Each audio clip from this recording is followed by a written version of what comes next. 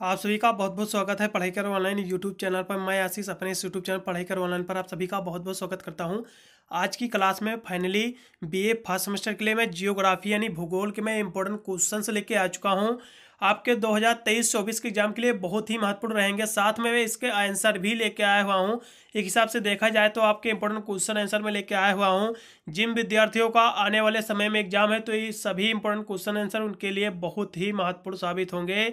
इसलिए वीडियो में अंत तक आपको बने रहना है और सभी जितने भी प्रश्न उत्तर लेके आया हुआ हूँ, सभी आपको देख लेना है।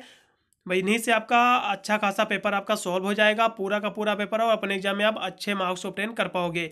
या आपका पेपर की यदि हम बात करें तो पेपर नेम है आपका फ़िज़िकल जियोग्राफी, जिसे हिंदी में भौतिक भूगोल कहते हैं। पेपर यूनिवर्सिटी में सेम लगता है, बिल्कुल यही क्वेश्चन आपके यूनिवर्सिटी में दोहराए जाएँगे।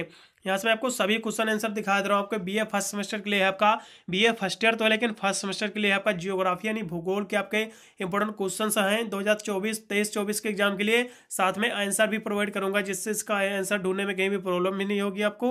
और आप सभी इंपॉर्टेंट क्वेश्चन आंसर देख को अपने एग्ज़ाम की तैयारी को भी मज़बूत करके अपने एग्ज़ाम में अच्छे मार्क्स भी ऑप्टेन कर सकते हैं। यहाँ से मैं आपको सभी प्रश्न उत्तर दिखा रहा हूँ। उससे पहले यदि वीडियो को लाइक ना किया तो वीडियो को लाइक करके चैनल को सब्सक्राइब ज़रूर कर लेना, क्योंकि मैं इस चैनल पर बीए की सारी आल सेमेस्टर की एग्ज़ाम की तैयारी कराता हूँ, जिसके अंदर से अपने एग्ज़ाम में अच्छे मार्क्स ऑप्टेन कर सकते हैं। लीजिए यदि हम इसके पहले प्रश्न की बात करें तो आपका भौतिक भूगोल की प्राकृत इसका विषय क्षेत्र का वर्णन करना है, जो कि बहुत ही महत्वपूर्ण प्रश्न बन जाता है, क्योंकि मैंने पहले भी बताया हुआ हूँ। आपके पेपर से के नेम से रिलेटेड बहुत सारे प्रश्न आपके पूछे जाते दो प्रश्न बिल्कुल आपके एग्ज़ाम में पूछे जाएँगे, इसलिए भौतिक भूगोल आपके पेपर का नाम है तो इससे पहला ही प्रश्न बन जाता है कि भौतिक भूगोल क्या होता है, इसका विषय क्षेत्र क्या होता है और इसका प्राकृत सब कुछ आपको देखना है लॉन्ग में प्रश्न यहाँ से आपको दिखा दे रहा हूँ। यदि हम भौतिक भूगोल की यदि हम बात करें तो जो भौतिक भूगोल जो है, लेटिस भाषा के दो शब्दों से मिलकर बना हुआ है, जियो प्लस ग्राफी से मिलकर बना हुआ है। जियो का अर्थ होता है पृथ्वी और ग्राफी का अर्थ होता है गणना करना या मापना।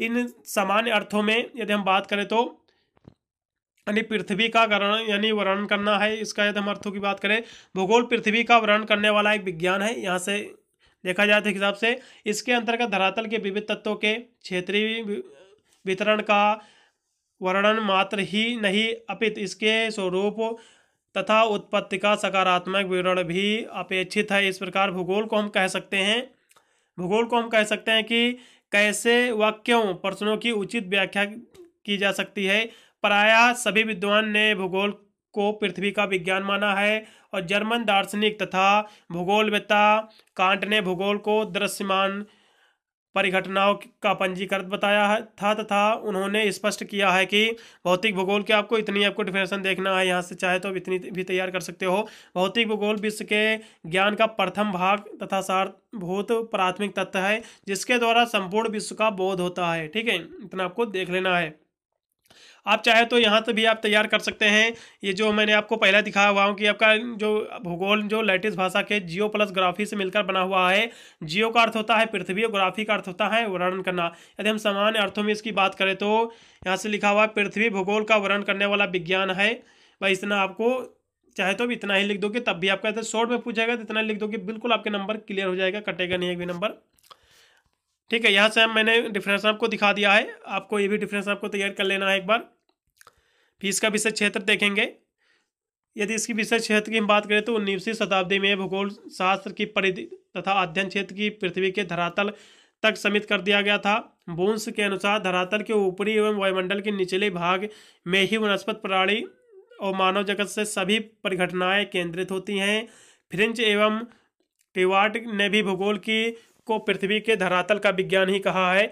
इस हिसाब से देखा जाए तो पृथ्वी के धरातल का विज्ञान ही है भूगोल को भूगोल आप ऐसे भी कह सकते हो, पृथ्वी के धरातल को ही, यानी भूगोल कहते हैं।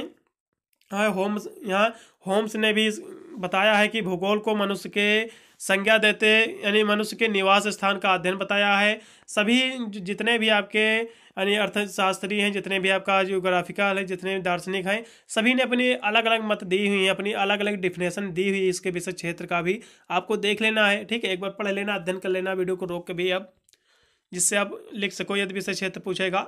फिर अगला प्रश्न बहुत ही मोस्ट वांटेड है, इसकी हम देखेंगे। ज्वालामुखी क्या होता है, इसके प्रकार बहुत ही मोस्ट आपका प्रश्न बन जाता है। एक हिसाब से देखा जाए तो ज्वालामुखी की हम बात करें तो ज्वालामुखी जो है शाब्दिक अर्थ में यह भ्रम होता है कि ज्वालामुखी से आग की यानी लपटे बाहर निकलती हैं। वास्तव में ज्वालामुखी से निकलने वाला ज्वलनशील गैसों के कारण आग की लपटे का भ्रम हो जाता है और कुछ लोग ज्वालामुखी का अभिप्राय ज्वालामुखी से निशत्र यानी लावा के जमाव से उत्पन्न सक्वाकार पर्वत से लगाते हैं। किंतु यह गलत। वास्तव में ज्वालामुखी संख या पर्वत को ज्वालामुखी क्रिया का परिणाम या प्रतिफल होता है। यहाँ से डिफिनेशन आपको बहुत सारी मिल जाएँगी। दो डिफिनेशन और यहाँ से लिखी हुई हैं। ज्वालामुखी की हम बात करें तो मौका हाउन ने इसकी डिफिनेशन दी हुई है उसने भू जो आपका भूकंप है, भूपटल के वे छिद्र है, जिसमें भूगर्भ का मैग्मा आदि पदार्थ उद्गार के रूप में बाहर निकलता है। चाहे तो आप इसकी एक आपको डिफिनेशन बिल्कुल तैयार कर ही लेना है। यहाँ से वार सिस्टम ने भी इसकी डिफिनेशन दी हुई है कि ज्वालामुखी प्राय एक गोलाकार छिद्र होता है, जिससे होकर पृथ्वी की अत्यंत यानी तप्त भूगर्भ की गैस जल तरल लावा, गैस यानी खंड आदि भूपटल पर निस्वस्थ होते हैं। अब भूकंप ये आपका जो दिया हुआ ज्वालामुखी होता क्या है? ज्वालामुखी जो होता है हिसाब से देखा जाए तो पृथ्वी की नीचे से एक एक गैसों का एक विशाल, इसका भंडार भी कह सकते हो। एक, जब भी ज्वालामुखी उत्पन्न होती है तो वहाँ से एक बड़ा सा गड्ढा माफ़ी नुमा बन जाता है और इसमें गैसें निकलती हैं। यही आपका जो है ज्वालामुखी कहलाता है। फिर अगले प्रश्न की ओर बढ़ेंगे, जो कि आपका दिया हुआ कि भूकंप से आप क्या समझते हैं? एक हिसाब से देखा जाए, बहुत ही महत्वपूर्ण प्रश्न आपका बन जाता है भूकंप। भूकंप ये प्रश्न पूछा जाता है लोग में भी कि भूकंप आपको भारत में भूकंपीय क्षेत्र जो आपके एरिया है उसके बारे में विस्तृत में पूछ लेता है। सबसे पहले हम भूकंप के बारे में समझेंगे कि भूकंप होता क्या है। यदि हम भूकंप की बात करें तो यानी प्राकृतिक कारणों से जब पृथ्वी की सतह कांपने लगती है तो उसे हम भूकंप कहते हैं, ठीक है? आपको इतनी डिफिनेशन तो आपको कंपलसरी आपको पता ही होनी चाहिए। प्राकृतिक कारणों से जब पृथ्वी की सतह कांपने लगती है तो उसे हम भूकंप कहते हैं। इतनी डिफिनेशन आपको याद कर लेना है, ठीक है? यदि लॉन्ग में प्रश्न पूछेगा तो आपको यहाँ से लिख देना है, समानता भूकंप दो शब्दों, यानी भू प्लस कंपन से मिलकर बना है, जिसका अर्थ होता है पृथ्वी का कांपना या कंपन, अतः पृथ्वी का आकस्मिक यानी अचानक हिलना, ये अचानक हिलना ही भूकंप कहलाता है। चाहे तो यहाँ तक भी डिफिनेशन तैयार कर सकते हैं। समानता जो भूकंप शब्द जो है ये दो शब्दों से मिलकर बना हुआ है भूपलंस कंपन से मिलकर बना हुआ, जिसका अर्थ होता है पृथ्वी का कांपना या कंपन। अतः पृथ्वी का अचानक हिलना या कांपना आपका भूकंप कहलाता है, ठीक है? इतनी आपको पता होनी चाहिए डिफिनेशन फिर अगले प्रश्न बढ़ेंगे। ये प्रश्न बहुत ही इंपॉर्टेंट है, इसको बिल्कुल आपको तैयार कर ही है, ठीक है? चट्टान क्या होती है? चट्टाने क्या होती? है बहुत ही मोस्ट इंपॉर्टेंट क्वेश्चन है इसको भी हम देखेंगे। यदि हम चट्टानों की यदि हम बात करें तो चट्टाने होती क्या है? पृथ्वी सतह का निर्माण करने वाली रचना सामग्री को चट्टान कहा जाता है। देखिए, यहाँ आप शॉर्ट और यहाँ से एक एक लाइन में आपकी डिफिनेशन दी हुई है आसानी से याद कर सकते हो, कोई भी दिक्कत नहीं। यदि आप एक डिफिनेशन तैयार कर लेते हो तो बात को अब यदि लॉन्ग में पूछा जाएगा, प्रश्न आप बना बना कर भी आप आसानी से लिख सकते हो, ठीक है? पृथ्वी की सतह का निर्माण करने वाली रचना सामग्री को चट्टान कहा जाता है। इतने डिफिनेशन तैयार कर लेना है। समान सामान्य रूप से चट्टान शब्द का प्रयोग किसी कठोर वस्तु के लिए ही किया जाता है। किंतु भूगोल, विषय में इसका प्रयोग बालू, कंकड़, मिट्टी तथा ग्रेनाइट आज सभी के लिए किया जाता है। यहाँ से आर्थर होम ने भी इसकी डिफिनेशन दी हुई है। होम्स ने जो चट्टाने होती है, अधिकांश चट्टाने यानी खनिजों का ही एक मिश्रण अंश होती हैं। अतः इनमें कई खनिजों का पाया जाना स्वाभाविक होता है। इन खनिजों में रासायनिक तत्वों का योग रहता है। प्रत्येक चट्टान में एक से अधिक खनिजों का आपका समी, मिश्रण आपका पाया जाता है। चट्टानों की, चट्टाने क्या होती है? इसकी डिफिनेशन आपको पता हो गया होगी। इतनी तो आपको डिफिनेशन पता ही होनी चाहिए। पृथ्वी सतह का निर्माण करने वाली रचना सामग्री को चट्टान कहा जाता है, ठीक है? फिर आपको यहाँ से मैं इसकी इसके प्रकार की भी बात करूँगा, क्योंकि ये प्रश्न पूछा जाता है कि चट्टाने क्या होती हैं? चट्टाने के प्रकारों का भी आपको वर्णन कर देना, कितने प्रकार की होती हैं, ठीक है? तो इसके एकदम प्रकारों की हम बात करें तो ये चट्टाने तीन प्रकार की होती हैं सामान्यता। आग्नेय चट्टाने, अब आग्नेय चट्टाने क्या होती हैं? इसके बारे में आगे मैं बताऊँगा, ठीक है? आग्नेय चट्टाने, औषधि और परतदार चट्टाने और रूपांतरित चट्टाने। तीनों चट्टाने होती हैं, ठीक है? चट्टाने तीन प्रकार की होती है। ये तीनों के बारे में यदि लॉन्ग में पूछा जाएगा तो आपको करना क्या है? इन सभी के बारे में आपको हाइडिंग छोड़ छोड़ के आपको लिख देना है। इसके अंतर्गत की चट्टाने होती के, कौन सी हैं? ठीक है? वर्णन करना पड़ेगा, ठीक है? चट्टाने और इसके प्रकार मैंने बता दिया, तीन प्रकार की होती हैं। फिर अगले प्रश्न को पढ़ेंगे। सूर्यताप क्या होता है? इसके बारे में हम देखेंगे। शॉर्ट में इसके बारे में आपको तैयार कर लेना है। यदि हम सूर्यताप की बात करें तो सौर्य ऊर्जा को ही सूर्यताप कहते हैं। चाहे तो आप इतनी ही डिफरेंस तैयार कर सकते हैं। बात को इसके आप बना बना कर भी लिख सकते हो। यदि हिसाब से देखा जाए तो।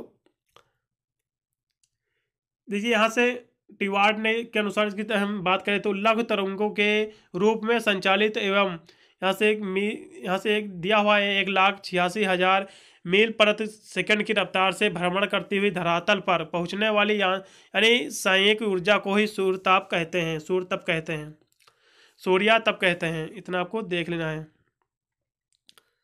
अगले प्रश्न पढ़ेंगे, चक्रवात तथा प्रत चक्रवात में अंतर क्या होता है?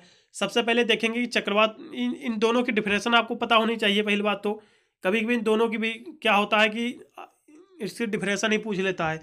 दोनों की डिफ्रेशन बताइए या फिर इसके बीच में अंतर पूछ लेता है। तो पहले हम देखेंगे चक्रवात और प्रत चक्रवात होता क्या है। देखिए, चक्रवात, इसमें यहाँ अंतर देखेंगे हमें। आगे में आपको दोनों के बारे में होता क्या है, इसके डिफरेंस भी मैं बताऊँगा। यदि इसके हम अंतर की बात करें यहाँ तो चक्रवात में निम्न दाब केंद्र में होता है, अतएव हवाएँ बाहर की ओर और चलती हैं, जबकि परत चक्रवात में हवाएँ केंद्र की ओर चलती हैं। चक्रवात में क्या होता है? जो हवाएँ होती हैं, ये बाहर की ओर चलती हैं और परत चक्रवात में जो है केंद्र की ओर, यानी अंदर की ओर चलती हैं। यदि इसके दूसरे अंतर की बात करें तो चक्रवात में मौसम वर्षा युक्त तो होता है। मौसम के अधिनियमताएँ मिलती हैं, जबकि परत चक्रवात में यानी मौसम साफ़ होता है और वायु स्थिर एवं शुष्क होती है। ठीक है फिर अगले प्रश्न बढ़ेंगे वर्षा क्या होता है? वर्षा के प्रकार देखेंगे। पहले वर्षा की, देखेंगे। वर्षा के लिए वायु का संतृप्त होकर यानी संघनित होना आवश्यक होता है। औसांक के बाद वायु को ठंडी होने पर संघनन प्रारंभ हो जाता है, यानी वर्षा होने के लिए वायु का ऊपर उठना आवश्यक होता है। वर्षा तीन प्रकार की होती है, मुख्यतः, यानी वायु तीन प्रकार से उठती है। इस वर्षा के लिए निम्न भागों में बांटा गया है। सहनवनी आपका संवाहनी ऊर्जा यहाँ से संवाहनी यहाँ से वर्षा तीन आपकी वर्षा यहाँ से निम्न दिया गया है, फिर आपका पर्वतीय वर्षा होगी और चक्रवातीय वर्षा, ठीक है? तीन आपकी वर्षा है। प्रकार है वर्षा के अब इसको देख सकते हैं। अगला प्रश्न बहुत ही महत्वपूर्ण रहेगा कि भर्सन क्या होता है? शॉर्ट में प्रश्न काफ़ी बार पूछा गया है। इसके बारे में शॉर्ट में आपको तैयार करना है, इतना ही आपको तैयार कर लेना है, बस।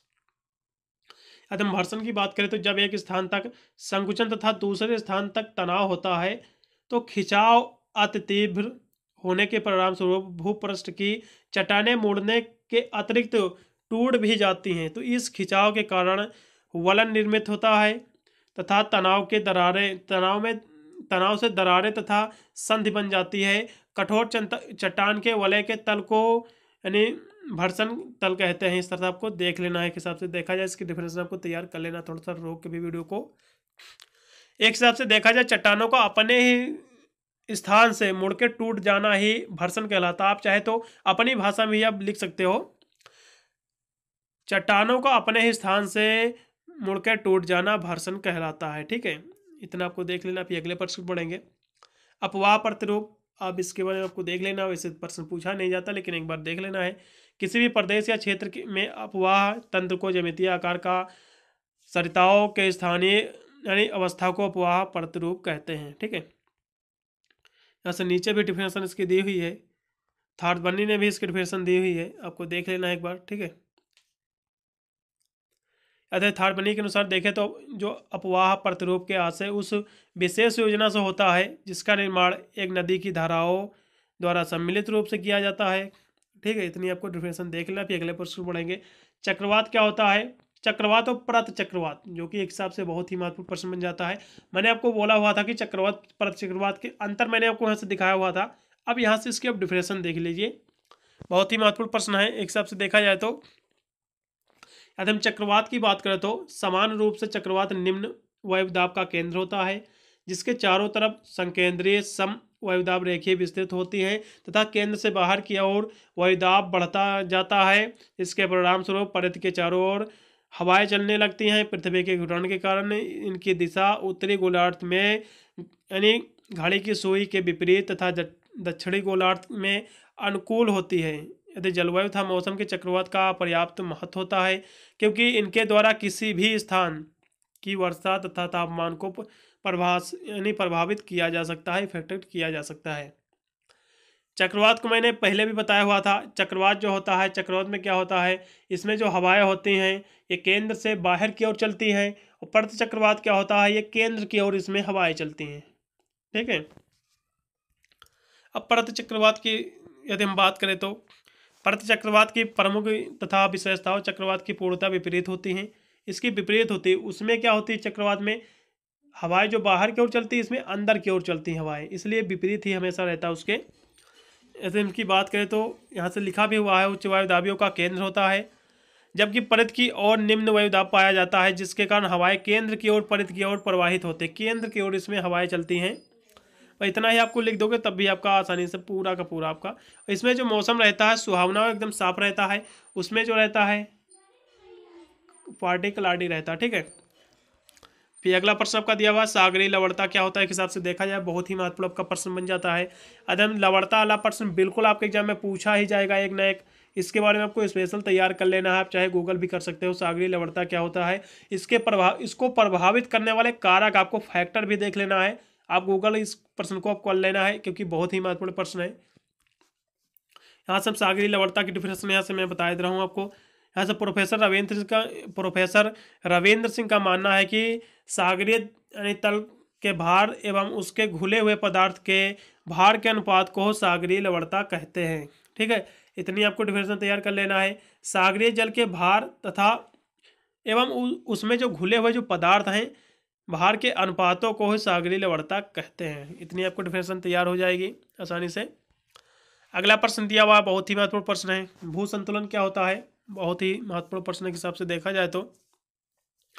यदि हम भू संतुलन की हम बात करें तो धरातल पर पर्वत, पठार, मैदान तथा झीलें स्थितियाँ पाई जाती हैं, जिसमें उच्चा वचन में काफ़ी अंतर पाया जाता है। फिर भी ये आकृतियाँ एक निश्चित नियम के आधार पर धरातल पर स्थित हैं।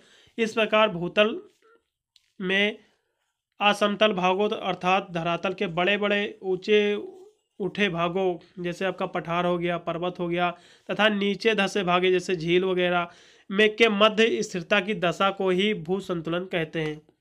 एक हिसाब से देखा जाए तो इसमें कहने का मतलब क्या है? यानी इन्होंने इसके एकदम साधारण शब्दों में बात करें तो ये आपका जो पठार यानी पर्वत ऊपर का जो हिस्सा तथा नीचे धसा, एक हिसाब से देखा जाए यहाँ से, इसमें देखिए धरातल के जो बड़े बड़े बड़े ऊँचे ऊँचे उठे जो भाग हैं, धरातल जो है, इसके जो बड़े बड़े ऊँचे उठे भाग जैसे पहाड़ हो गया और तथा आपका जो नीचे धसे भाग जैसे झील हो गया, तालाब हो गया, इसकी स्थिरता जो इसके मध्य जो स्थिरता रहती है कि दशा जो होती है, यही आपका भू संतुलन कहलाता है। इतनी आप लिख दोगे तब भी आपको डिफिनेशन राइट रहेगी। नंबर पूरे आपके मिलेंगे। यहाँ से टिवार्ड ने भी इसके सब डिफिनेशन दी हुई है कि परिभ्रमण करती हुई पृथ्वी परिभ्रमण करते हुए पृथ्वी के ऊपर, यानी स्थित क्षेत्र जैसे पर्वत, पठार मैदान तथा गहराई में स्थित समुद्र, झील आदि के भौतिक एवं यांत्रिक स्थिरता की दशा को ही भू संतुलन या फिर संतुलन की दशा कहते हैं। डिफिनेशन वही आपकी रहेगी। कोई भी दिक्कत नहीं, आपको तैयार कर लेना आसानी से। आप लिख भी सकते हो उसकी डिफिनेशन। अब छः क्या होता है? एक हिसाब से देखा जाए, बहुत ही महत्वपूर्ण प्रश्न बन जाता है। चट्टानों के अपने ही स्थान से टूटकर बिखरने या नष्ट होने की प्रक्रिया को उपक्षय कहते हैं। एक ही बार में ये प्रश्न तैयार, याद हो जाएगा, कोई भी दिक्कत नहीं होगी। चट्टानों के अपने ही स्थान से टूटकर बिखरने तथा नष्ट होने की प्रक्रिया को अपक्षय कहते हैं। खत्म। यहाँ से रविंद्र ने भी इसकी डिफिनेशन दी हुई है। चट्टानों का भौतिक क्रियाओं द्वारा अपने स्थान पर विघटित होकर नष्ट होने, तथा रासायनिक क्रियाओं द्वारा वियोजित होने की प्रक्रिया को अपक्षय कहते हैं। दोनों का, दोनों परिभाषाओं का मतलब एक ही है। जो भी आपको अच्छी लगे आपको तैयार कर लेना है। अगला प्रश्न आपका दिया हुआ है, वायु रास क्या होती है? इसकी भी हम चर्चा करेंगे। यदि हम वायु रास की बात करें तो वायु रास वैसे प्रश्न पूछा नहीं जाता, लेकिन यहाँ से एक बार देख लेना है आपको। वायु रास वायुमंडल के उस यानी घने तथा विस्तृत भाग को कहते हैं, जिसमें विभिन्न ऊंचाई तथा क्षैतिज अवस्था में तापमान तथा आर्द्रता संबंधी समानताएँ होती हैं। इतनी आपको देख लेना है। फिर अगले प्रश्न पढ़ेंगे जैवमंडल क्या होता है हिसाब से देखा जाए, बहुत ही महत्वपूर्ण प्रश्न बन जाता है। जैवमंडल का परिस्थिति तंत्र भी पूछ लेता है। जैवमंडल क्या होता है? परिस्थिति तंत्र की बात करूँगा। अच्छा सबसे पहले मैं जैवमंडल की बात करूँगा कि जैवमंडल होता क्या है। जैवमंडल जो होता है, जीवमंडल जो होता है, यानी जीव मन यानी जैवमंडल जो है, जीवमंडल शब्द का प्रयोग पृथ्वी में उस भाग के लिए किया जाता है, जो कि जीवन के विभिन्न स्वरूपों का आवास तथा वर्गीकरण की दृष्टि से यह तीन भूमंडल दृष्टों का, यानी स्थनमंडल और आपका जलमंडल तथा वायुमंडल के अलावा है। ठीक है? इतना आपको बिल्कुल देख ही लेना है बहुत ही महत्वपूर्ण प्रश्न के हिसाब से देखा जाए तो। इतनी आपको डिफिनेशन तैयार होनी चाहिए। आपको इतनी देख लेना है इसकी डिफिनेशन रूसी वैज्ञानिक यहाँ से वार्ड डस्की ने भी उन्नीस सौ उन्नीस में जीवमंडल का शब्द का प्रथम बार प्रयोग किया हुआ था। एक बार पढ़ लेना है। आप जीव जीवमंडल के बारे में आपको गूगल कर लेना, एक बार पढ़ लेना इसके बारे में। इसका मैंने एक मॉडल पेपर अपलोड किया हुआ हूँ, वो भी solve model paper i button में लिंक दे दूँगा। आप नीचे उसको भी एक बार वॉच कर लेना। यदि आप दोनों से तैयार कर लोगे तो पूरा पेपर आपका सॉल्व होगा पचहत्तर नंबर का। एक भी क्वेश्चन छूटेगा नहीं आपका इस बार। अगले प्रश्न पढ़ेंगे, जो कि आपका दिया हुआ है। बालुका स्तूप क्या होता है? एक हिसाब से देखा जाए, शॉर्ट में प्रश्न आपका पूछे जाने की इसकी संभावना रहती है ज़्यादा। इसके हम शॉर्ट में पूछेंगे, देखेंगे इसके बारे में। ये पवन द्वारा रेत तथा बालू के निपेक्ष, यानी निक्षेप से निर्मित, यानी टिब्बे या स्तूपों को बालका स्तूप कहा जाता है। इतना आपको देख लेना बस। अगले प्रश्न बढ़ेंगे जो कि आपका दिया हुआ है। वी आकार की घाटी आपका हिमानी अपर्दन में सभी आपको मिल जाएँगे, वैसे एक हिसाब से देखा जाए तो लेकिन यहाँ भी देखेंगे। वी आकार की घाटी क्या होता है, सभी को पता होगा। नदी घाटी का आकार अंग्रेज़ी में भी अक्षर जैसा होता है। ऐसी आकृतियाँ पहाड़ी भागों में अधिक विकसित होती हैं, क्योंकि पहाड़ क्योंकि पहाड़ों में ऐसी घाटियाँ देखने को इसलिए मिलती हैं, क्योंकि पहाड़ों से जब जल नीचे गिरता है तो कहीं ना कहीं पत्थरों को तोड़ कर एक हिसाब से देखा जाए, एक सेप दे देती है किसी न किसी अक्षर का।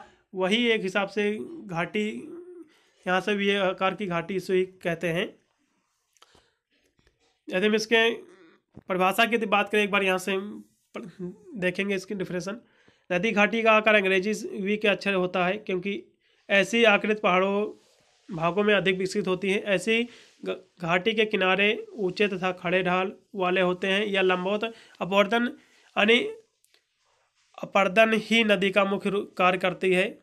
इस तरह से आपको देख लेना है। गोखुर झील क्या होती है, इसके बारे में देखेंगे, जो कि बहुत ही महत्वपूर्ण ये भी आपका प्रश्न है। यदि हम गोखुर झील की बात करें तो जब विसर्प का मोड़ निरंतर बढ़ता जाता है तो निरंतर आमने सामने के भागों में कटाव होता रहता है और इससे कुछ समय पश्चात विसर्प के कोने वाले किनारों आपस में मिल जाते हैं।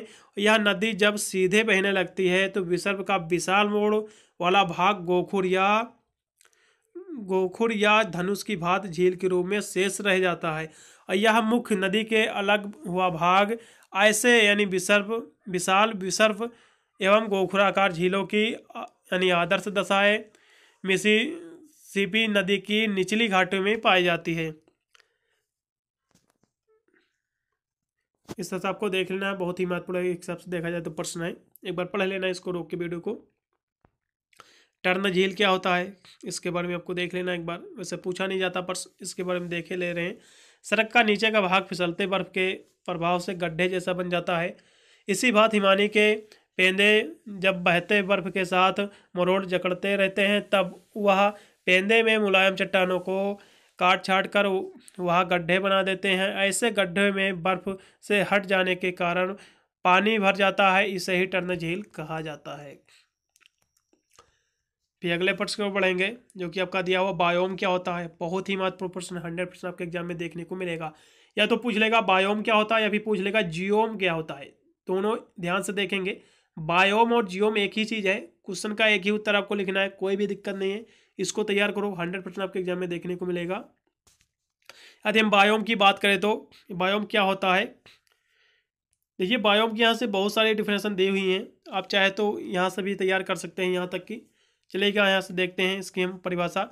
बायोम स्थलीय तथा जलीय आवास का एक ऐसा क्षेत्र होता है जो विशेष परिस्थिति विशेषताओं के आधार पर भूपटल के अन्य क्षेत्रों में पृथक होता है। बायोम को समानता यानी स्थलीय भागों के पादप एवं पराड़ समुदाय का परिस्थिति रूप में अध्ययन किया जाता है और बायोम से विपराय जीवन से है। संबंधी प्राणियों तथा पादकों के वृहत एवं प्राकृतिक सहवास जो पृथ्वी पर दूर दूर तक, यानी बसे क्षेत्रों में पाए जाते हैं, उसे बायोम कहलाते हैं। सभी बायोम कहलाते हैं सबसे देखा जाए तो। बायोम की यहाँ से डिफिनेशन पीटर ने भी दी हुई है, क्लीमेट ने भी इसकी डिफिनेशन दी हुई है। बायोम जो है, पृथ्वी की वृहत पर्यावरणीय कटिबंध है, जो कि स्पष्ट पादप आवरण द्वारा चिन्हित होते हैं। क्लीमेंट ने इसकी डिफिनेशन दी हुई कि बायोम एक जैव समूह होता है, जो कि भौगोलिक सीमाओं में अपने विशिष्ट जैव रूप तथा जातीय श्रेष्ठता से पहचाना जाता है। इसको बिल्कुल तैयार कर लेना है। वीडियो को रोक के, क्योंकि ये प्रश्न हंड्रेड परसेंट आपके एग्ज़ाम में देखने को मिलेगा। इसमें कोई भी लापरवाही नहीं करना है प्रश्न एक दो बार आपको पढ़ लेना है। ये आपके शोर में बिल्कुल आपको देखने को मिलेगा। तीन नंबर देखे जाएगा। तीन से चार नंबर। अगले प्रश्न पर बढ़ेंगे। भू प्रॉपर्टी क्या होता है जिसे कर्स्ट भी कहते हैं? दोनों प्रश्न पूछे जाएँगे। भूपट्टी पूछ लेगा या फिर कर्स्ट पूछ लेगा। लिखना आपको एक ही रहेगा। पृथ्वी के ऊपरी भाग को भूपट्टी या कर्स्ट कहते हैं। कोई भी दिक्कत नहीं। वायुमंडल का जब आप अध्ययन करोगे हिसाब से देखा जाए तो भूपट्टी आपको मिल जाएगा उसमें। यदि हम परतों की बात करें तो पृथ्वी की जो ऊपरी परत होती है, उसे भूपट्टी या क्रस्ट कहते हैं। कोई भी दिक्कत नहीं है आसानी से लिख सकते हो। इतनी ही आप डिफिनेशन लिख सकते हो। ठीक है? भूपट्टी जो है, दो भागों में पाई जाती है। एक होता है ऊपरी भूपट्टी एक होती है निचली भूपट्टी रोक के वीडियो एक बार अध्ययन कर लेना है तो वीडियो ज़्यादा लंबा चला जाएगा। अब आग्नेय चट्टाने क्या होती हैं? ये कितने प्रकार की होती हैं? बहुत ही महत्वपूर्ण प्रश्न के हिसाब से बन जाता है। आग्नेय चट्टाने क्या होती हैं? मैंने आपको ये प्रश्न दिखा दिया पहले भी, लेकिन यहाँ से भी हम देखेंगे इसका अर्थ। आग्नेय शब्द जो है लैटिस भाषा के इग्निस शब्द से संबंधित है, जिसका अर्थ होता है अग्नि पृथ्वी के भीतर भागों में आंतरिक क्रिया द्वारा पृथ्वी की ऊपरी परत या धरातल जब पिघला हुआ पदार्थ ठोस रूप धारण करता है तो आग्नेय चट्टाने बनती हैं। पृथ्वी के भीतरी भागों में आप चाहे तो यहाँ तक डिफेशन लिख सकते हैं, लेकिन आगे भी देखेंगे, पृथ्वी के भीतरी भागों के मध्यवर्ती गहराव में बहुत उच्च तापमान एवं दबाव के मध्य जो पदार्थ अर्ध द्रव यानी आधे द्रव अवस्था में एकत्र है, उसे मैग्मा कहते हैं। यह मैग्मा ज्वालामुखी के मुख्य, के मुख से बाहर आता है तो उससे गैसें निकलती हैं। निकलती हैं, निकल जाते हैं और शेष, यानी द्रव पदार्थ लावा कहलाता है और मैग्मा और लावा के ठंडे होने पर चट्टाने बनती हैं। यहाँ तक आपको डिफिनेशन देख लेना है, बहुत ही महत्वपूर्ण प्रश्न के हिसाब से देखा जाए तो। जलप्रपात क्या होता है? बहुत ही महत्वपूर्ण प्रश्न के हिसाब से देखा जाए तो। यदि हम जलप्रपात की बात करें तो जब नदी के मार्ग से कठोर चट्टान या जो बाँध होते हैं, आने की लंबवत ढाल बन जाते हैं तो झरना प्रपात बनता है। यहाँ तक आप डिफिनेशन तैयार कर सकते हैं। संयुक्त राज्य एवं कनाडा की सीमा पर स्थित झरना एवं पूर्वी भाई, इतनी आपको डिफिनेशन तैयार कर लेना, कोई भी दिक्कत नहीं। भाई, इतनी आपको देख लेना, बस जलप्रपात होता क्या है। जब नदी के मार्ग से कठोर चट्टान या बाँध आने की से, यानी परपाती या लंबवत ढाल बन जाती है। ये जो ढाल होता है, यही आपका झरना या फिर प्रपात कहलाता है, ठीक है? अगले प्रश्न में पढ़ेंगे। यदि जलप्रपात की बात करें तो झरना जो होता है हिसाब से देखा जाए पहाड़ों से जो जल आता है उसे भी हम झरना कह सकते हैं हिसाब से जो पहाड़ों से नीचे गिरता है। तो कहीं ना कहीं वहाँ की मिट्टी हट जाती है वहाँ से गड्ढा नुमा हो जाता है। तो वही आपका झरना वो भी आपका कहलाता है। अपने शब्दों में आप लिख सकते हैं इसका उत्तर। क्षोभ मंडल क्या होता है? इसके बारे में हम देखेंगे। यह वायुमंडल की, की सबसे निचली परत होती है। क्षोभ मंडल जो होता है आपको वायुमंडल के बारे में आपको देख लेना है, इसकी कितनी परतें होती हैं, सभी के बारे में आपको तैयार कर लेना है, चाहे आप गूगल ही क्यों ना करें। क्षोभ मंडल जो होता है, यह वायुमंडल की सबसे ऊपरी परत होती है, इसके बारे में आपको अध्ययन कर लेना है। अगले प्रश्न को बढ़ेंगे हम। तरंग क्या होती है वेब क्या होती है, इसके बारे में देखेंगे। तरंग जो होती हैं, इसकी यदि हम बात करें तो पवन के सतह प्रवाह तथा अन्य शक्तियों के कारण सागरीय जल के संचलन या गति उत्पन्न होती है। इन शक्तियों के प्रभाव से कभी सागरीय जल आगे बढ़ता है तो कभी पीछे हटता है। और वह नदी के जल की सतह अपना स्थान नहीं छोड़ता है। वर्ण सागरीय जल के आगे बढ़ने तथा पीछे हटने को सागरीय जल के कण अपने स्थान पर वृत्ताकार रूप में संचलित कर यानी संचलन करते हैं और सागरीय जल के कर्मिक रूप से उठने और गिरने को ही तरंग कहा जाता है। आपको जो एक हिसाब से देखा जाए तो सागरीय जो जल होता है, ये जब जल इसका जो होता है, कभी आगे आता है तो कभी पीछे बढ़ता है, एक हिसाब से देखा जाए। ये जो होता है, इसे ही आप तरंग कह सकते हैं, कोई दिक्कत नहीं है। अगले प्रश्न बढ़ेंगे। महासागरीय तरंगे क्या होती हैं? महासागरीय सॉरी यहाँ से महासागरीय धाराएँ दिया हुआ है, इसके बारे में देखेंगे कि महासागरीय धाराएँ क्या होती है।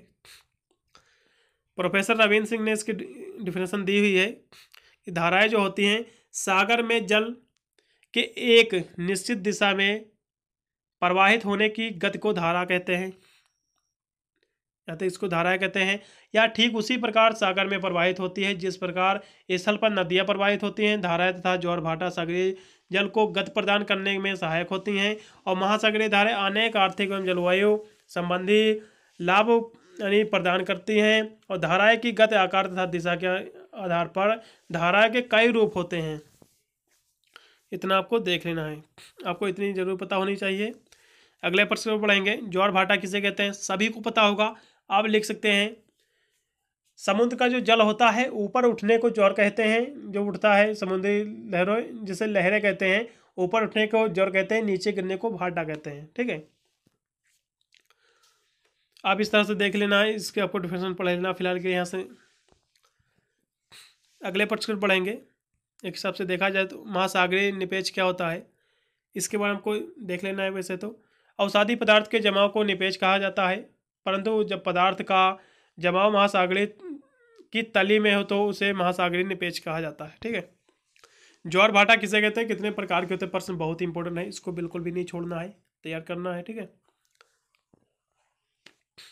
महासागरीय संसाधन क्या होता है? यदि इसकी हम बात करें तो महासागरीय संसाधन बहुत ही महत्वपूर्ण रहता है। ये साधन जो साधन होता है, जैविक अजैविक दो तत्वों पर निर्भर करता है। एक हिसाब से देखा जाए तो यहाँ से देखेंगे इसकी डिफिनेशन महासागरीय की सतह में तलित तक विद्यमान जैविक तथा अजैविक तत्वों को जिसका उपयोग मानव अपनी आवश्यकताओं की पूर्ति के लिए करता है या करेगा, सागरीय संसाधन कहलाता है। इतना आपको तैयार कर लेना है। ठीक है? अगले प्रश्न पढ़ेंगे परवाल भित्त क्या होता है? बहुत ही महत्वपूर्ण प्रश्न के हिसाब से देखा जाए तो। चलिएगा परवाल भित्त हम देखते हैं। परवाल महासागरों से मिलने वाली चूनों की, चूने की एक ऐसी चट्टान होती है जो मूँगे या कोरल यानी पालिप्स नामक सागरीय जीवों के कंकाल से निर्मित होती है। महासागरों में समूह में एक ही स्थान पर असंख्य मूँगे निवास करते हैं। परवाल एक जीव होता है जो अपने चारों ओर एक चूने का, यानी झील बना लेता है और यह अपना भोजन सागरीय जल से प्राप्त करता है। परंतु जब एक परवाल मर जाता है तो उसके तो उसके यानी खोल के ऊपर दूसरा परवाल अपना खोल बन, यानी बनाने लगता है या फिर बना लेता है और धीरे धीरे एक एक करके अनेक परवाल बढ़ते जाते हैं। इस प्रक्रिया के में लंबे समय तक एक विस्तृत भित्ति बन जाती है। इसे ही परवाल भित्त कहते हैं। आशा करता हूँ आपको प्रश्न समझ में आ गया होगा। बहुत ही महत्वपूर्ण प्रश्न। एक बार पढ़ लेना है। आसानी से आप लिख सकते हो। ओपन एग्ज़ाम में कोई भी दिक्कत नहीं। वीडियो को रोक के भी पढ़ सकते हैं। एटाल क्या होता है? इसके बारे में हम देखेंगे। एटाल प्रश्न बिल्कुल आपके एग्ज़ाम में देखने को मिलेगा। शॉर्ट नोट में काफ़ी बार पूछा जा चुका है। बस एक लाइन का इसकी डिफरेंसन है। तैयार कर लो, कोई दिक्कत नहीं। जब परवाल भित्त का आकार घोड़े के नाल या अंगूठे के आकार का हो तो उसे एटाल कहा जाता है। ठीक है, इतना आपको तैयार कर लेना है। अगले प्रश्न पढ़ेंगे एटाल के प्रकार देखेंगे, ये तीन प्रकार के होते हैं। यहाँ से तीनों, यहाँ से इसकी एटाल के प्रकार दिए हैं तीन प्रकार के होते हैं।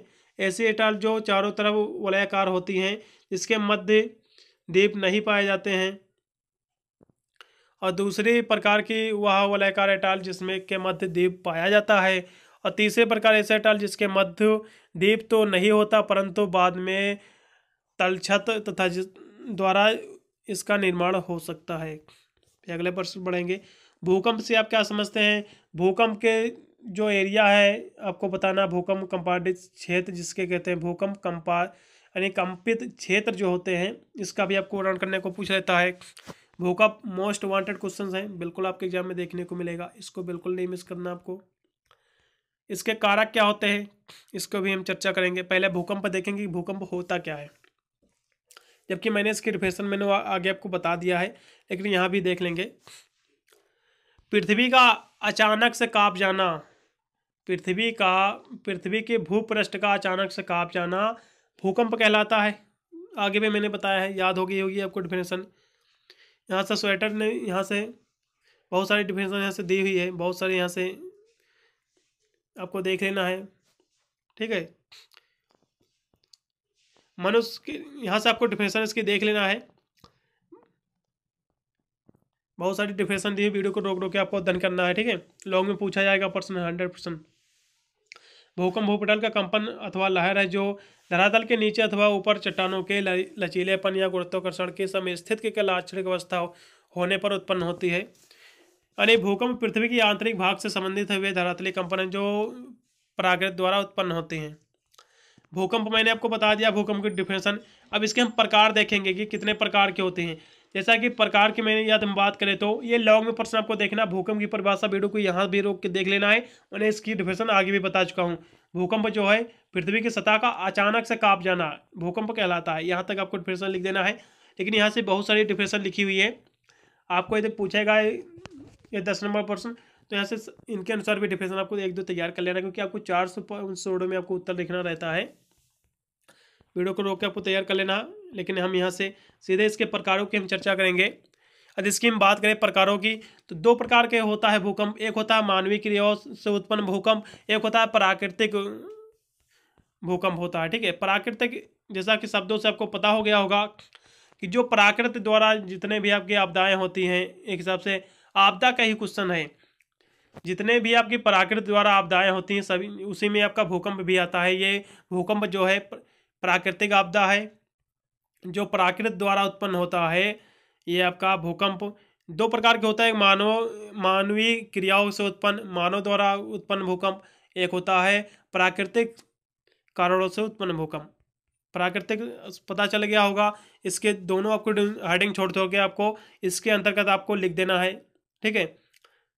कोई भी दिक्कत नहीं है। यदि हम मानवीय क्रियाओं द्वारा भूकंप की यदि हम बात करें, आप प्राकृतिक, आप भूकंप जानते होगी, आसानी से लिख सकते हो। पहले हम भूकंप, मानवीय क्रियाओं द्वारा उत्पन्न भूकंप की हम चर्चा करेंगे। इन्हें बनावटी या कृत्रिम भूकंप भी कहा, कहते हैं। ऐसे भूकंप जो स्थानीय यानी प्रभाव वाले हल्के धक्कों की बात होते हैं। जैसे यानी भवनों के समीप स्थित रेल की पटरी से गुजर रही एक्सप्रेस सवारी या मालगाड़ी में भी, यानी मकानों के टेबलों द्वारा रखा जाता है, जो इनका कहना मतलब यह होता है, जो मानव क्रिया द्वारा जो भूकंप होती है। आपने देखा होगा, सिटी वगैरह में जो ट्रेनें पटरियाँ होती हैं, कहीं कहीं उसके पास में घर भी होते हैं। जब भी ट्रेनें गुजरती हैं तो एक हिसाब से देखा जाए, कंपित होने लगता है वो घर। यही एक हिसाब से देखा जाए, इसका उदाहरण है, एक हिसाब से देखा जाए कि मानव कृत जो होता है, भूकंप, यही इसका उदाहरण है। कंपित होने लगता है घर वही आपका मानव कृत द्वारा ही भूकंप है। जैसे कि डीजे का साउंड बजने लगता तो ऐसा प्रतीत होता कि मानो ज़मीन हिलने लगी। ये सभी मानव कृत द्वारा ही ये आपकी भूकंप हैं। प्राकृतिक भूकंप, पता ही होगा होगा, जो अचानक से पृथ्वी के हल जाना, जो प्राकृतिक घटनाओं के द्वारा उत्पन्न होता है। आशा करता हूँ आपको पूरी तरह प्रश्न तैयार हो गया होगा। आप लिख दोगे, कोई भी दिक्कत नहीं होगी अब। अगले प्रश्न को बढ़ेंगे। भू अभिनत अथवा भू उन्नत। भू अभिनत तथा भू सन्नत। क्या होता है इसकी विशेषता देखेंगे। बहुत ही महत्वपूर्ण प्रश्न आपका बन जाता है हिसाब से देखेगा भू अभिनत या भू अभिनत और भू सन्नत क्या है?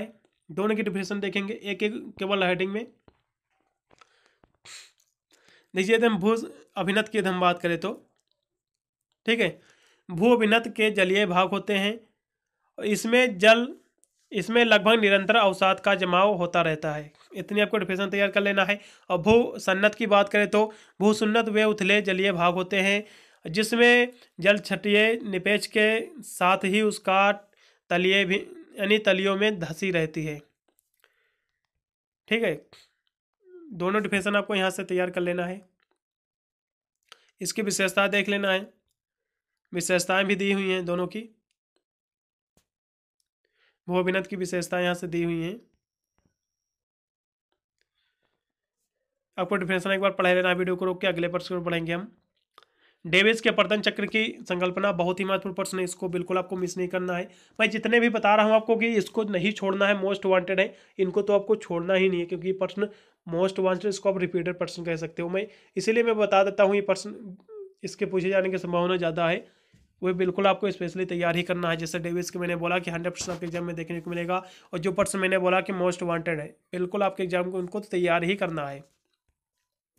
डेविस के अपरतन चक्र की हम संकल्पना की हम बात करें तो डेविस ने भौगोलिक चक्र की संकल्पना का प्रतिपादन अठारह सौ निन्यानवे ईस्वी में किया था। उन्होंने कहा था कि भौगोलिक चक्र समय की वह अवधि है जिसके अंतर्गत जिसके अंतर्गत यह उत्स्थित भूखंड अपर्दन के पराक्रम द्वारा प्रभावित होकर एक आकृत विहीन, यानी समतल मैदान में बदल जाता है। इन्होंने यहाँ तक कहा था कि डिफरेंस आपको पता होनी चाहिए।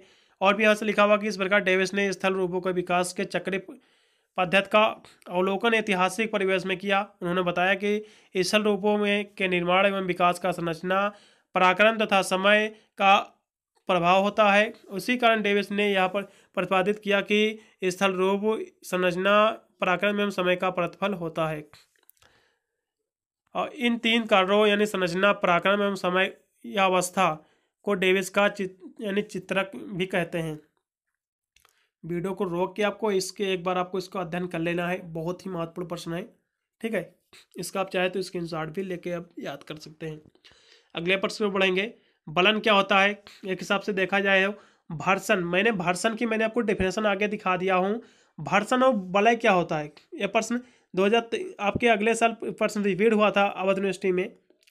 बहुत सारी यूनिवर्सिटी में रिपीट हुआ था। बी पी एस होगी एम जी बी होगी, आपकी डी बी होगी पी आर आपका ऐसी होगी, रज्जू भी यूनिवर्सिटी होगी, बहुत सारी यूनिवर्सिटी में आपका रिपीट हुआ था। यूपी की आल यूनिवर्सिटी में बलन और भर्सन क्या होता है? भर्सन मैंने आपको आगे दिखा दिया बलन के यहाँ से डिप्रेशन देखेंगे।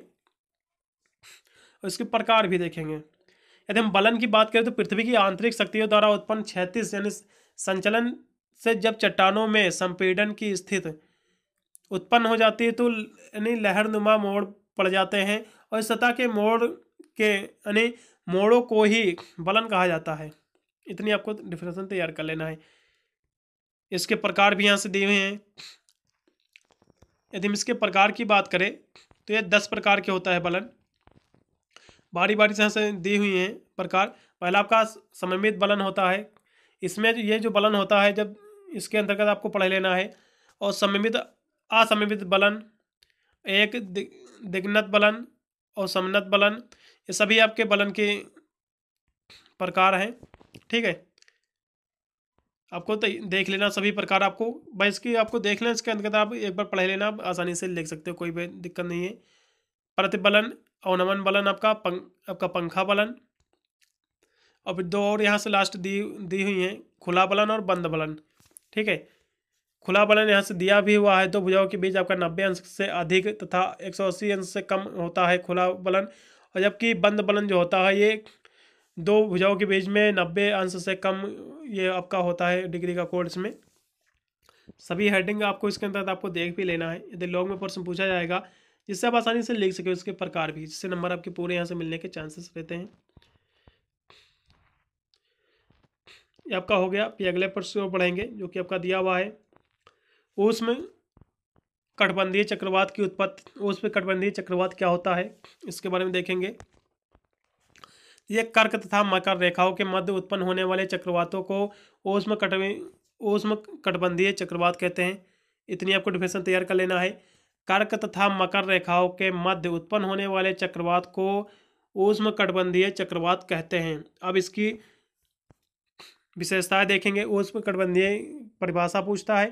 उसकी विशेषता पूछा जो कि पूछता है, बहुत ही महत्वपूर्ण प्रश्न है हिसाब से देखा जाए, इसको भी मोस्ट वांटेड नंबर्स कहेंगे। अगले, ये इसकी हम विशेषताएँ भी यहाँ से देखेंगे कि इसकी विशेषताएँ क्या होती हैं। इसके मैंने आपको डिफिनेशन दिखा दिया कि कर्क तथा मकर रेखाओं के मध्य उत्पन्न होने वाले चक्रवात को ऊष्म कटबंधीय चक्रवात कहते हैं, ठीक है? इसकी विशेषता यहाँ से लिखी हुई हैं, आपको देख लेना है। ऊष्म कटबंधीय चक्रवात के आकार में पर्याप्त अंतर होता है। और ये विभिन्न गत से आगे बढ़ती हैं। सारे जो कटबंधी जो आपकी जो होती हैं चक्रवात, ये विभिन्न गत से आगे बढ़ती हैं। और ये सागर, ये चक्रवात सागर के ऊपर तेज चलते हैं। और ये चक्रवात के केंद्र में वायुदाब बहुत कम होता है। इसके केंद्र में और उस कटबंधीय चक्रवात के विभिन्न इस तरह से आपको इसकी सभी आपको विशेषता आपको देख लेना है, ठीक है? आपको यहाँ से विशेषता आपको देख लेना अब एक दो, एक बार पढ़ लेना, आप इसे अंतर्गत आप आसानी से लिख सकते हो, कोई भी दिक्कत नहीं। सूर्य ताप क्या होता है? सूर्य ताप क्या होता है इससे आप क्या समझते हैं? इसके प्रभावित करने वाले क्या फैक्टर क्या होते हैं? इसके कारक क्या होते हैं? इसके भी देखेंगे। यदि हम सूर्य ताप की बात करें तो बहुत ही महत्वपूर्ण प्रश्न है। इसके हम बात करें तो सूर्य ताप क्या होता है? इसके बारे में यहाँ से हम देखेंगे। एक हिसाब से देखा जाए तो सौर विताप, सौर ऊर्जा था, सौर यानी ऊर्जा, उस ऊर्जा को कहते हैं जो प्रकाश एवं ऊर्जा के रूप में धरातल को प्रकाश की गत एवं लघु तरंगों के रूप में सूर्य से प्राप्त होती हैं, इसे सौर विकिरण भी कहते हैं। और यहाँ तो इसकी आपको डिफरेंशन तैयार करना है वीडियो को रोका हमेशा आपको पढ़ लेना है। और इसकी यहाँ से डिफरेंशन तैयार करना है। सूर्य में वायुमंडल, सूर्य से वायुमंडल में निरंतर विकरण उष्मा को सूर्यताप कहा जाता है। चाहे तो आप ये डिफिनेशन तैयार कर लीजिए। यहाँ से वायर ने भी इसकी डिफिनेशन दी हुई वायर्स ने। पृथ्वी की सतह पर प्रत्यक्ष प्राप्त तथा विकरण की दर को सूर्यताप कहते हैं। मार्टिन ने भी इसकी डिफिनेशन दी है कि सूर्य से विकृत ऊर्जा जो पृथ्वी की धरातल पर प्राप्त होती है, विशेष नाम सूर्य विताप से संबोधित किया जाता है। इन्होंने कहा है कि सूर्य की जो किरणें पृथ्वी पर पड़ते हैं, इसी को सूर्य विताप कहते हैं और इसी को ही सूर्य तप कहा जाता है, ठीक है? इसके प्रभावित करने वाले कारक क्या होते हैं? सूर्य तप के, सूर्य तप के। तीन इसके चार कारक हैं यहाँ से, निम्न कारक दिए हुए हैं। आकांक्षी स्थित वायुमंडलीय की मोटाई, दिन की लंबाई और जल थल का वितरण, ठीक है? आपको देख लेना है। अगला प्रश्न आपका शॉर्ट में देखना है, हिमोर जिसे मोरेंस भी कहते हैं इनके बारे में देखेंगे। दोनों एक ही चीज़ होता है। देखिए मोरेंस की यदि हम बात करें तो हिमनद अपने यानी साथ बारीक कड़ों वाले पदार्थ को लेकर बड़े बड़े विशाल खंडों का परिवहन करता है। इन पदार्थों को जब हिमनद बहाकर नहीं ले जा पाता है तो उसका निपेक्ष यानी निक्षेप हो जाता है और हिम हिमनद द्वारा पदार्थों के निक्षेप को ही हिमोड़ कहते हैं। इतनी आपको डिफिनेशन तैयार कर लेना है, ठीक है?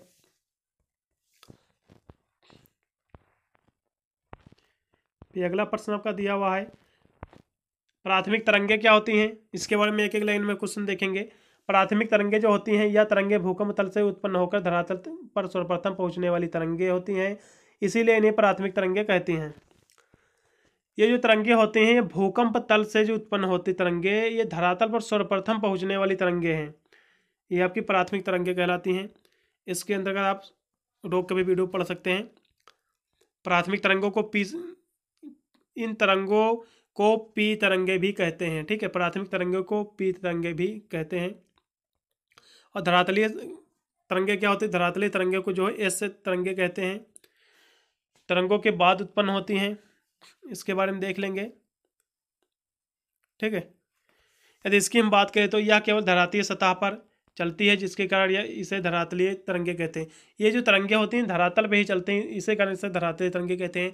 आप आसानी से बनाकर भी लिख सकते हो, जो तरंगे धरातल पर चलती हैं, उनको धरातलीय तरंगे कहते हैं, कोई भी दिक्कत नहीं, आसानी से लिख सकते हो। और प्राथमिक तरंगे, ऐसे तरंगे जो, यानी भूकंप तल से उत्पन्न होकर, सर्वप्रथम, यानी तरंगे जो पहुँचती हैं पृथ्वी पर, उसे हम प्राथमिक तरंगे कहते हैं, कोई भी दिक्कत नहीं है लिख सकते हो। सपेक्षिक आर्द्रता क्या होती है, एक सबसे देखा जाए यदि हम सपेक्षिक आर्द्रता की बात करें तो वायु में किसी निश्चित तापमान तथा निश्चित आयतन में विद्यमान जलवायु की मात्रा तथा उसी तापमान तथा आयतन पर वायु की जलवाष्प धारण करने की क्षमता के अनुपात को ही सापेक्ष आर्द्रता कहा जाता है। ठीक है? इतनी आपको डिफिनेशन तैयार कर लेना है। अगले प्रश्न बढ़ेंगे। लास्ट में प्रश्न आपका बचा हुआ है। ये लॉन्ग में प्रश्न पूछा जाता है। इसके बारे में विशेष आपको तैयार देख लेना है। मोस्ट वांटेड है। हिमानी के कार्य था उसके निर्मित स्थलियों का आपको वर्णन करना है स्थल कृतियों का। पहले हिमानी की बात करेंगे, हिमानी क्या होता है? हिमानी जो होता है, हिमानी बर्फ़ की नदी है। हिमानी जो है, बर्फ़ की नदी है। यहाँ से लोबेन ने इसकी, इसके बारे में कहा हुआ कि ये बर्फ़ की एक नदी है। और यहाँ से वारसेट्टर ने भी कहा हुआ कि हिमानी हिम की एक ऐसी राशि है जो धरातल पर संचय के के स्थान पर धीरे धीरे खिसकती है। आपको इस तरह से देख लेना इसकी, आप यहाँ तक वीडियो को रोक कर भी आप यहाँ से अध्ययन कर सकते हैं, कोई भी दिक्कत नहीं। लॉन्ग में प्रश्न पूछा जाएगा तो एक बार आपको यहाँ से पढ़ लेना, जिसके अंतर्गत आप आसानी से लिख भेज सकते हो।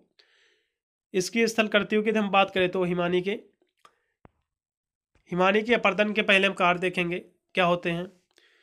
यद्य पृथ्वी की निजी, यानी जिन क्षेत्रों से बर्फ़, यानी फिसलती या बहती है, ऐसे भाग, यानी ऐसे सभी भागों में भूमिका खरोच एवं विशेष प्रकार के संशोधन होते रहते हैं, किंतु जब हिमानी या बर्फ़ निश्चित घाटी से बहती है तो इससे, यानी ऐसे प्रदेशों के अनेक प्रकार की कृतियों का निर्माण हो, इनका कहना मतलब ये है, जो हिमानी जो एक हिसाब से देखा जाए, जो बर्फ़ होता है, या अपने स्थान से खिसक खिसक कर किसी न किसी का खिसके के वहाँ से टूट कर गिरेगी तो वहाँ कोई ना कोई सेप बन जाता है, चाहे कोई भी आकार का बनता हो, स्थल कृतियाँ बन जाती के हिसाब से देखा जाए, जो ये हिमानी जो है, ये बर्फ़ ही है, कुछ और नहीं है।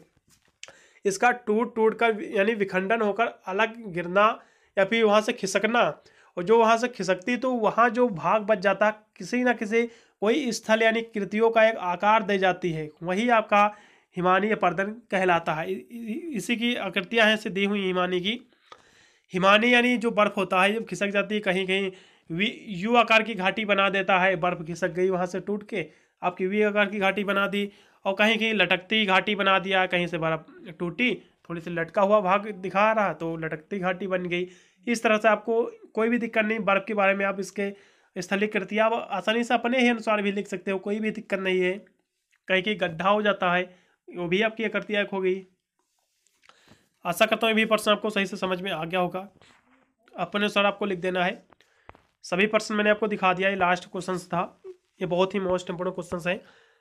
वीडियो अच्छा लगा तो चैनल को सब्सक्राइब ज़रूर कर लेना। साथ में बेल आइकन को ज़रूर प्रेस करना क्योंकि मैं इस चैनल पर सभी आपके सेमेस्टर के एग्ज़ाम की तैयारी कराता हूँ। हाल सेमेस्टर की, मिलता हूँ वीडियो के लिए, तब तक सभी को thank you watching this video